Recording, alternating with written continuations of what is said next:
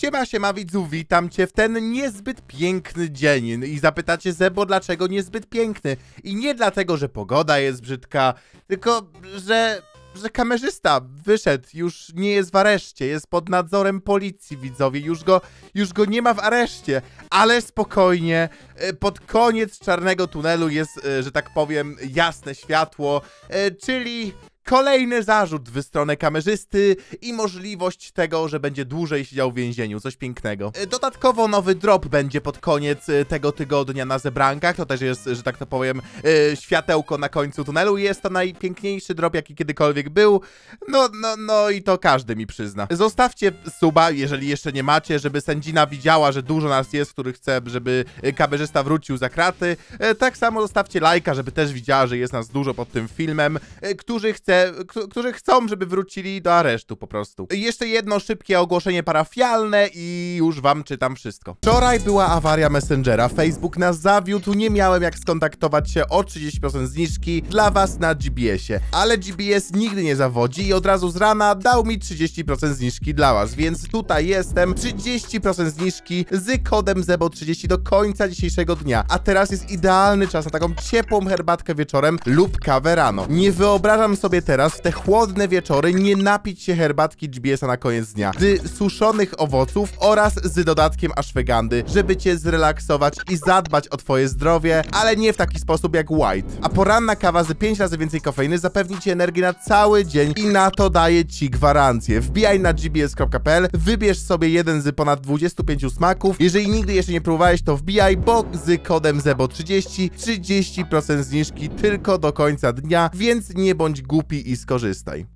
Już wiadomość, że kamerzysta wyszedł z aresztu była znana chyba 3 dni temu jakoś, a ja to wczoraj na Twitterze poruszyłem i każdy był zdziwiony, więc jakby o tym chyba bardzo cicho jest, co mnie bardzo dziwi, no bo kamerzysta, o którym było tak głośno, że idzie do więzienia, jest cicho, że w sumie wyszedł z tego aresztu. Nawet Konopski był zdziwiony i zgaduję, że dopiero co o tym newsy teraz nagrywa i będą dzisiaj albo jutro, yy, więc mam nadzieję, że da mojego Twittera jako, wiecie, yy, źródło informacji. Jeżeli nie, to robimy mu dramę, okej? 50 tysięcy lajków i robimy distraka na Konopa. Czy, czy, czy to zrobi, czy nie, to i tak bym zrobił z chęcią. Yy, Tym bardziej, że Konopski jakieś fake newsy wczoraj dawał, że domena facebook.com przez chwilę była dostępna na sprzedaż XD.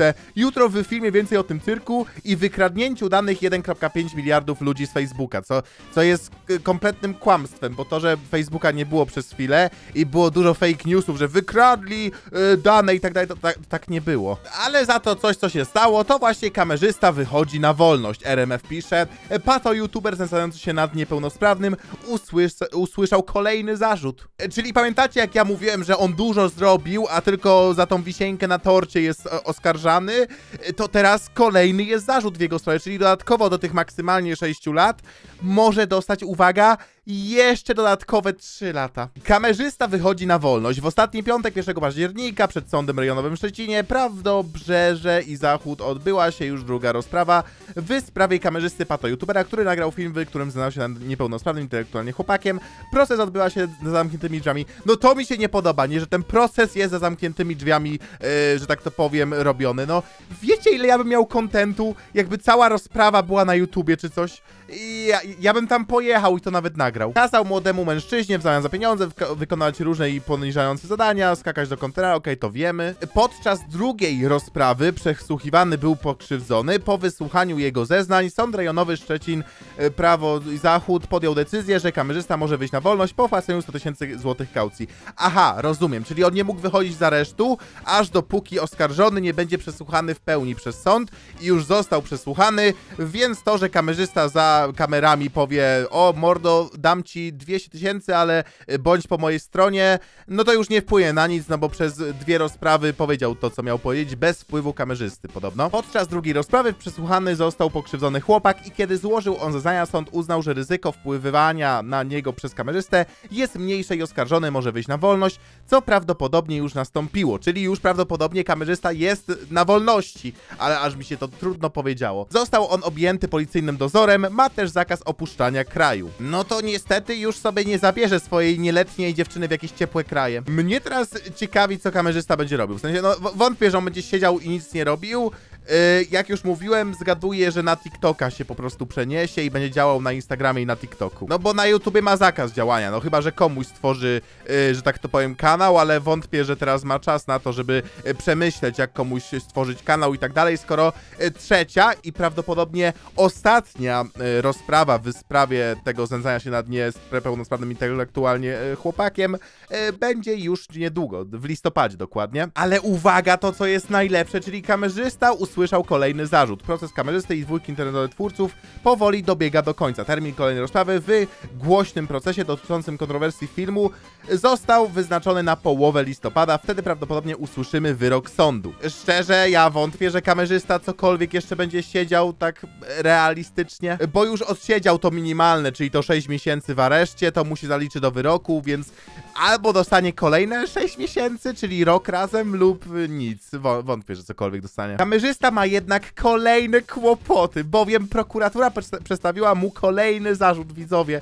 Pato youtuber odpowie, odpowie za pobicie starszego mężczyzny, do którego miało dojść w styczniu zeszłego roku. O tym już gadaliśmy, że zgonili to na y, że tak to powiem, poszkodowani, czyli y, rodzina tego starszego mężczyzny, ale Kruszwil wyjaśnił, oni też go przeprosili lub tam usunęli te wszystkie rzeczy i jednak to był kamerzysta, który pobił tego mężczyznę przed sklepem. Bo tutaj chodzi o sytuację, w której Łukasz W. chciał nagrać film w sklepie spożywczym, ale uwagę miał zwrócić mu 66-letni mężczyzna. Po tym zajściu kamerzysta miał uderzyć 66-latka, po czym mężczyzna stracił przytomność.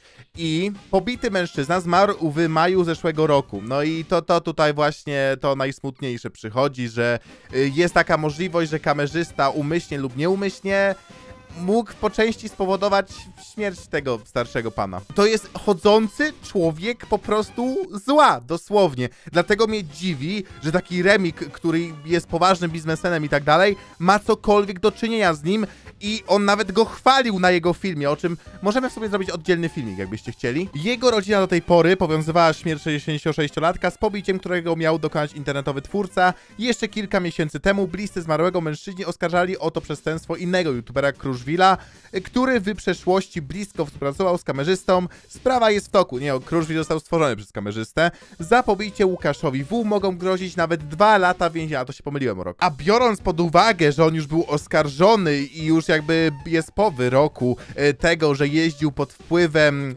e, że tak to powiem, mocniejszych alkoholów, no i jeszcze ma taką przeszłość, to ja wątpię, że sąd będzie aż taki miły dla niego, bo ewidentnie prokurator totalnie nie ma żad- jakiejkolwiek litości i bardzo dobrze. E, Ja pamiętam, oglądałem Annę Marię Wesołowską, jak byłem dzieciakiem i ten prokurator był bardzo niemiły i go nie lubiłem, ale tutaj jakoś lubię tego prokuratura.